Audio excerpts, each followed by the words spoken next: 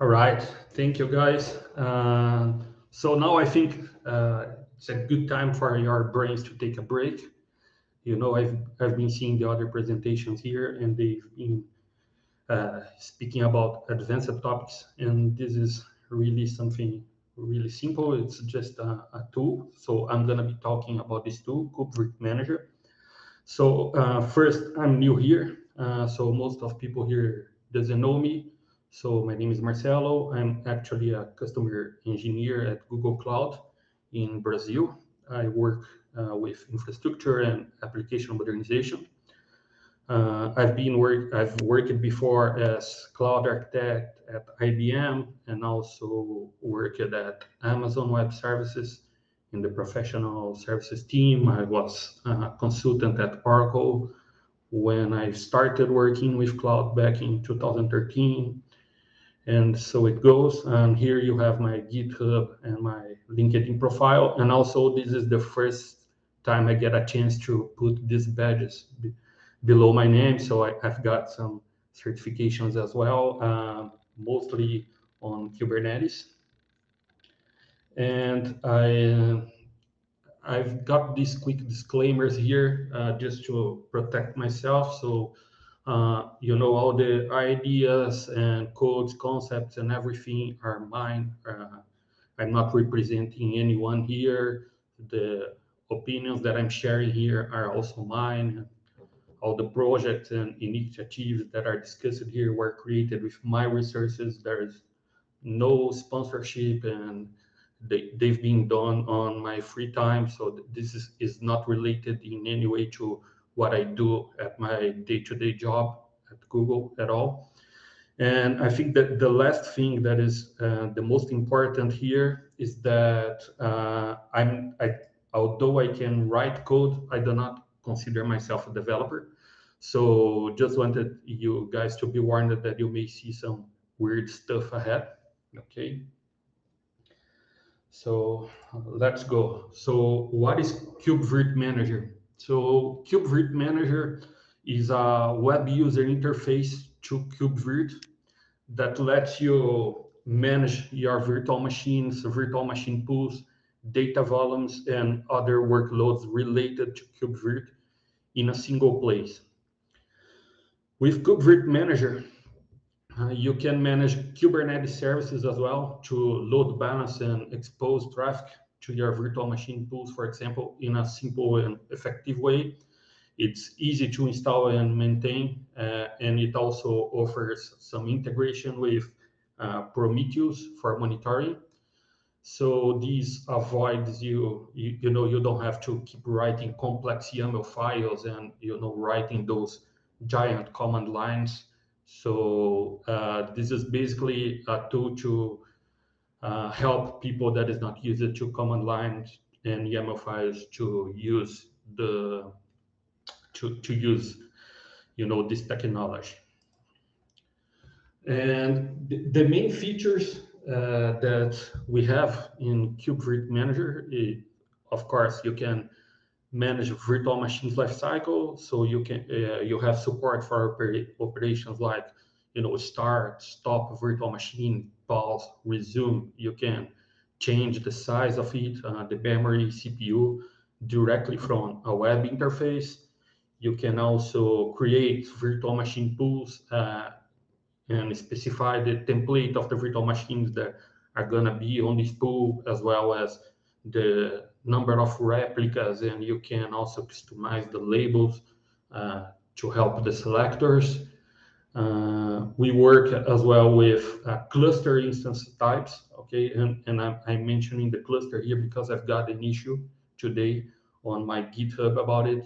So uh, we use cluster instance types because it's easier to, you know, to work on the interface instead of only instance type because instance type is uh, namespaced, so it will give some headaches to, you know, uh, to manage it. And also, when you install uh, the tool, uh, it provisions as well two uh, different priority classes that you can use and choose between them. And of course, if you have more, you can also use them. uh, but basically I, am using like a, a, default one and a preemptible one. So when you're creating uh, either the virtual machine pool or the or a single virtual machine, you can choose uh, it uh, there. You also have uh, access to the uh, virtual machine console through a noVNC solution that is embedded in, in this tool.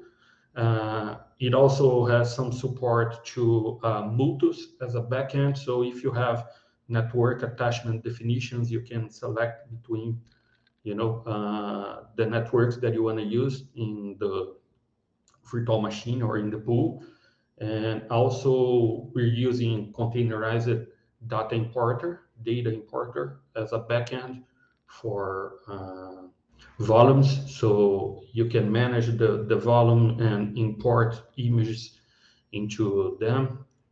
As I've explained earlier, we also have uh, support for basic Kubernetes services. So you can create uh, a load balancer or a cluster IP to point uh, to balance traffic to your uh, virtual machine pool, for example, or to expose uh, something from a virtual machine I've added as well cloud init support. So depending on the network that you choose, you can, you know, fill in the cloud init for network parameters like IP, net mask, and gateway DNS.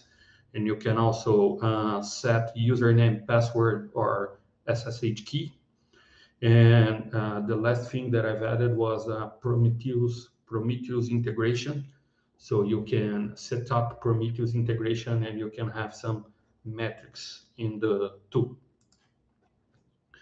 And uh, the idea behind the tool uh, was was that uh, before using KubeVirt, I was using um, uh, I forgot the name of the tool, but it, it, it, was a web tool that I used to use here in, in my lab, Proxmox. It's a tool. And uh, I've decided to move to KubeVirt. And, um, you know, I, I, I was like, I, I, didn't want to keep writing a lots of YAML files. So I, I, do a lot of testing at home. So I like to keep, you know, uh, uh, installing uh, new Kubernetes versions or multiple clusters. And uh, so I needed to create, uh, to have, you know, like a, a fast way to create machines and create pools and not needing to keep writing, you know, YAML files and copying uh, images. So this is uh, what made me work on it.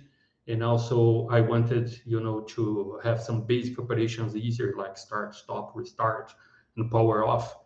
Uh, the VNC was also something that uh, really uh, that that was really hard for me. So you know, uh, having to have you know a VNC client on my box and you know doing some port forwards and stuff like that, and I I wanted something easier um, to work with that. And in the beginning, I've I've wrote like a backend to to my tool to uh, to manage the disks.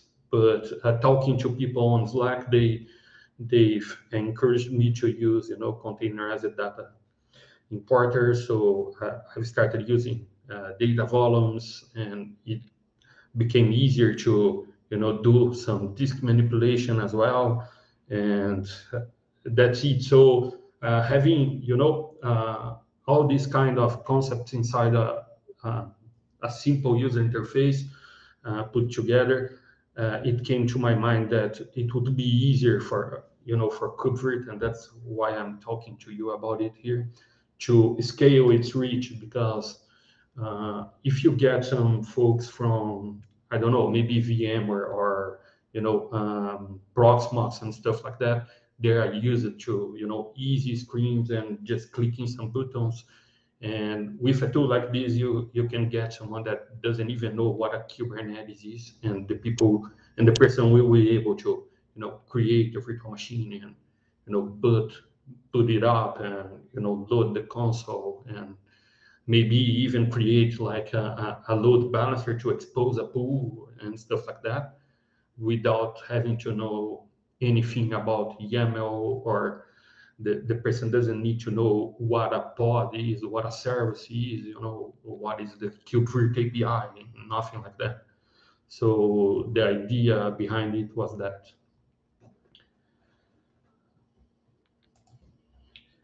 The tool is, is really simple. So I've, uh, I've open sourced it uh, on GitHub under Apache 2.0 license. And uh, basically, it's an AngularJS uh, application. Uh, we're using uh, AdminLTE, that is a bootstrap you know, template. We have also noVNC uh, embedded on it for the console access. And the tool runs inside uh, the, the static content is deployed inside an Nginx and we also have uh, kubectl running on the container.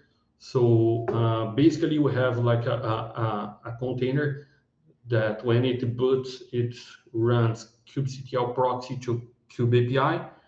Uh, and then we have like a, a, proxy pass on Nginx to Prometheus, and there is also a proxy pass from Nginx to kubectl proxy. And the static content is inside uh, Nginx. So the user talks to the Nginx inside the pod, and uh, Nginx, you know, will direct the web call depending on, on the path that the user is calling. So if if it's on, on on the dashboard screen, for example, there will be multiple calls to you know Kubernetes API to get the number of nodes that we have, uh, API to to get the number of VMs uh, and VMs instances, and we also have some calls to CDI to get the numbers of data volumes. And of course, uh, we also call um, Prometheus to show uh, some graphs in the interface. Uh, this is, uh, uh, I know this, this is screenshots like sucking, but I, wanted to give an idea in case anyone uh, wanted to to deep dive on it, uh, on how the, the project is organized. Again, I'm not a developer, so I've done my best here. So uh, on the conf directory, we have the Nginx configuration files. In the entry point, we have a script that uh, we put inside uh, the container to load kubectl proxy in background uh, in Kubernetes directory, we have the YAMLs. So for uh, the namespace creation, uh, for the deployment, for the serves, we also have some role-based access control there because we create a service account that kubectl uses to connect to the API. We have a few cluster uh, instance types, priority classes, and stuff like that. So it's all Kubernetes related. Uh, inside the application sourcing components, uh, each screen of the user interface is declared as a component there. Uh, in models, I have like a local representation of the objects that we have uh, in Kube, Kubernetes API or KubeVirt API. So uh, I have like a, a simple version of them with only the fields that I really use, you know. Uh, in the services, we have the layer that interacts with Kubernetes API, KubeVirt API, and containerized data importer. Uh, in templates, I have like the the, uh, uh the YAML templates for the services that we call uh, in Kubernetes. So we have templates for virtual machines, templates for uh, pools, for data volumes. So basically, when user is filling uh, filling in the the forms in the web interface. We just uh, replace some values and submit it. Uh, and also in assets, we have some uh, the static content and AdminLTE template. There is also a GitHub pipeline defined to build and test the code. There are some functional and and unit testing as well. uh, but I have no automated releasing for now. I've been considering using something like Tekton or Prow in the future. It's really easy to get started. So to get started, you just uh, in in my environment because I, I didn't have like a a shared storage uh, and I was using host path. So th this is how I, I set up here.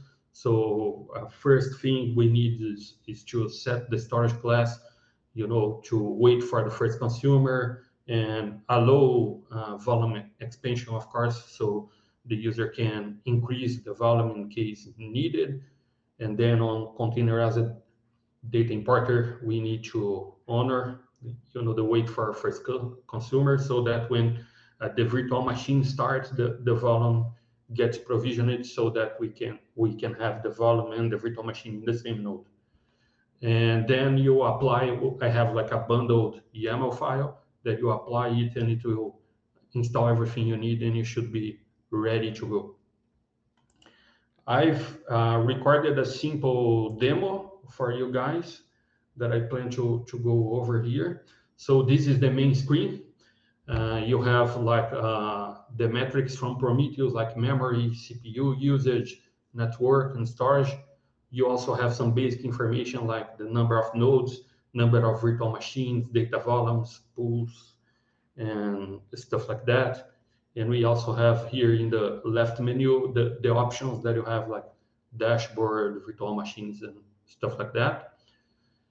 In the nodes screen, you have some information about the nodes that are in the cluster. Uh, so uh, these are the Kubernetes nodes, and you have some information about the nodes like architecture, CPU, memory, disk, uh, operating system, uh, stuff like that.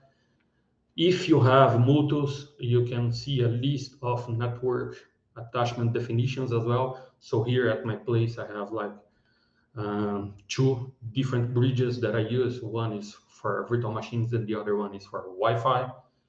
Here uh, you have the cluster instance types, so you can create, edit, and stuff like that, you know. So for example, to edit, you can enter the number of CPU and memory uh, to customize it. And also I'm gonna create one there for you to see. So basically you can put the name of, of the type you're creating and you can set the number of CPUs and number of memories and, and memory and create it. And there you have it. And then um, on the virtual machine uh, screen, you have the list of virtual machines that, that are running on your environment. They are uh, grouped by um, nodes and you have like the, the, the some information like the type of the virtual machine, uh, the IP address, and you can also have uh, a little bit more of information. And also you have like the, the main uh, operations like pause and resume, console, and edit, power off, remove, stuff like that.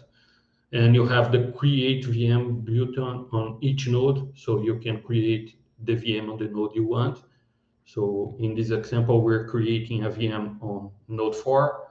In the basic screen, you can put the name of the VM and namespace. So we're creating uh, this KS 2023 test VM, and we're gonna use the virtual machines namespace. And then you can set some labels if you want to and you need to. So uh, this is an example label um, and then you have the CPU and memory. So you can use uh, predefined cluster instance type, or you can use custom. In case you select custom, you can enter the number of sockets, cores, threads, and memory. In this case, we're using uh, uh, predefined type. Uh, and also you can select the priority class, so standard or preemptible. Um, and then you have the disk tab. And on the disk tab, uh, you can choose the type of disk you want. If you want a blank disk, if you want to import it from a URL or use an existing one. So in this case, we're importing from the URL. You can select the storage class you want to use, and then we can enter the size of the disk in gigs. And I'm gonna put the URL there to import this image as well. And of course, you can do this with the second disk as well. So there, there, there are two disks uh, that you can use. And here you can select the networking but it, and th there's something interesting here. Uh, if you select a network different from pod, you will see that network data tab shows up. So let me just move it back so you can see it. So when you select a different one, network data shows up. This is the cloud-init because for pod network, it, it comes automatically. So here is the user screen. You can use password or SSH, whatever. So we're using user Ubuntu and I'm setting the password there instead of a key. And then network data. So uh, fast forward, IP, NetMask, gateway, DNS, and, the last screen you can set uh, the init script and you hit create. The virtual machine uh, doesn't start automatically. So it's uh, when you create it, it just stop it. Okay. Uh, and then uh, the, that, the data volume as well, it's waiting for the first consumer. So nothing happened there. And then if we come here and uh, power on the, the virtual machine, uh, the data volume will get bound, so PVC bound, and then uh, the virtual machine will change status to provisioning, and data volume will start importing. And then I'll fast forward here as well, so uh, that we don't have to wait. After the data volume uh, imported, the virtual machine is running. We can't see the IP address here because it's not running on the pod network, it's running on a bridge. So to see IP addresses on a bridge, we need to have the, the guest agent installed inside the virtual machine. So this is the console view for the virtual machine. And I'm gonna install uh, the guest agent really quick there. So installing the guest agent. There you go. And now you have the IP address there on the screen. And uh, I'm going to stop it. And uh, this is how we stop. And then you can see in the screen that we have some uh, some changes in the graphs for the metrics. So this is coming from Prometheus and I'm gonna delete this virtual machine. Uh, do you, are you sure? Yes. And another thing that I've done here that is really important is I, I, am not deleting the volumes from virtual machines automatically. So that if anyone deletes a virtual machine by mistake, um, the the image will, will, will be there. Um, here we're going to create uh, pool, virtual machine pool. So it's more or less the same thing. Okay. Um, so pool name, uh, you select the namespace as well. Um, and then you can set the number of replicas you want. And these labels will help you with the uh, selector so that the pool can control it. And what else? Uh, I'm, I'm almost done here. So uh, we can use select a type, just like the other screen, you know, CPU, socket, score, memory. Um, let me fast forward it or maybe make it go faster. So 1.75. So uh, importing from URL as well uh, 10 gigs, and then we put the URL over there.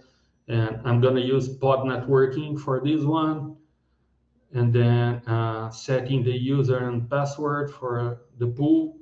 And we have like init script to install uh, Nginx and start it. And the, the script also uh, changes the index uh, with the host name. so that we can see the balancer in action. And then uh, we have it importing for um, for pools, the machines start automatically. You can see the machines either on VM pools window or on the virtual machines as well. So they are grouping and you can see where they are. And now we're gonna create like a, a, a load balancer to balance the traffic between them. And it's really simple. You just click on the plus sign, get put the name, select the namespace, and your pool and select the type, uh, port, and stuff like that. And then you, you, I have like a test here, and you can see that a, a few of the tests are failing here because uh, some of the machines have uh, uh, do not have uh, SSD, so they are slower. Okay, so the benefits of you know uh, Manager you can get running in seconds. The tool is packed in a container really easy. You don't need any training, no client installation. It's a simplified uh, VM uh, management, and you have uh, Kubernetes uh, integration and monitoring as well. Okay, these are some of the ideas for the future. So uh, you know, create a screen to to auto scale the VM pools, export VMs, and get screenshots, get some disk cache options, disk import options, and some uh, user interface improvements. Uh, last, I, I, would like to give some shout outs. Uh, first to Andrew that encouraged me to submit the proposal. Uh, Andrew Gracie was the first one that contributed with code to the solution. And all the other people here uh, gave me some feedback on the tool that encouraged me to, you know, continue this journey. And up for Q&A. We might have to move Q&A to uh, the general chat, I'm afraid, uh, just so we uh -huh. can uh-huh. get ready for the, the next presenter. Thank you very much, Marcelo. Thank you. Thank you, guys.